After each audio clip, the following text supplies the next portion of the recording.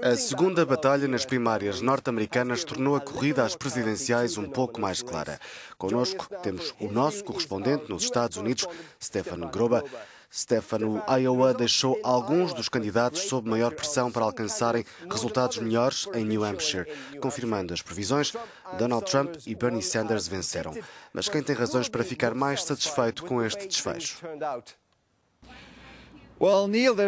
Bem, Neil, há um ditado na política americana que diz que o Iowa produz milho e o New Hampshire presidentes.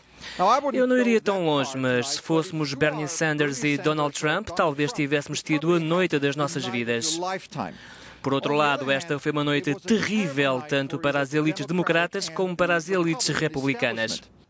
O New Hampshire representa um dos primeiros confrontos decisivos, mas não será cedo demais para se falar em decisões tanto para os democratas como para os republicanos.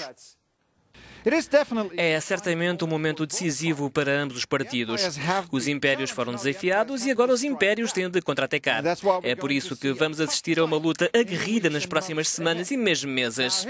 Agora, Hillary Clinton é forte. Há muito que ela anda por estes corredores. Por isso, Bernie Sanders tem de mostrar se ele tem ou não o poder para se manter na luta. Sabemos que Sanders tem o dinheiro para isso. Agora, temos de perceber se ele tem a capacidade de transpor o entusiasmo de New Hampshire para os outros estados mais diversificados diversificados, como Nevada e a Carolina do Sul, os dois próximos estados na lista destas primárias. Do lado republicano, a dúvida que se coloca é se os poderes instituídos vão conseguir parar Donald Trump. Neste momento, há um par de candidatos que têm tido um desempenho abaixo do esperado. Nem o governador Bush, nem o governador Kasich, nem o governador Christie mostraram estar à altura do desafio que será parar Donald Trump.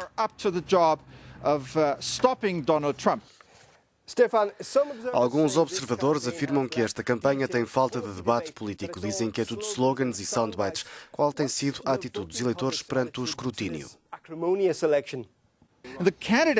Os candidatos são agressivos porque estão a dirigir-se para um eleitorado muito agressivo. Há muita raiva à solta. Os republicanos estão zangados com as elites. Se perguntarmos aos eleitores republicanos, eles vão dizer-nos que a economia está uma confusão, que o sistema de saúde é um desastre, que os Estados Unidos perderam influência internacional e nem sequer conseguem vencer o grupo Estado Islâmico. Os democratas estão também zangados se se perguntar aos eleitores democratas, eles acreditam que a economia está montada para favorecer os mais ricos e que a classe média foi destruída. Em resumo, os democratas acreditam que Obama não fez o suficiente para fazer o país progredir.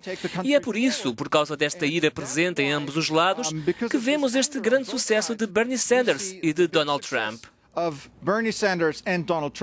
Stefan, there'll be many more nights of high drama. Thank you for keeping posted. We'll see you at the next primary. Thanks, Neil. You bet.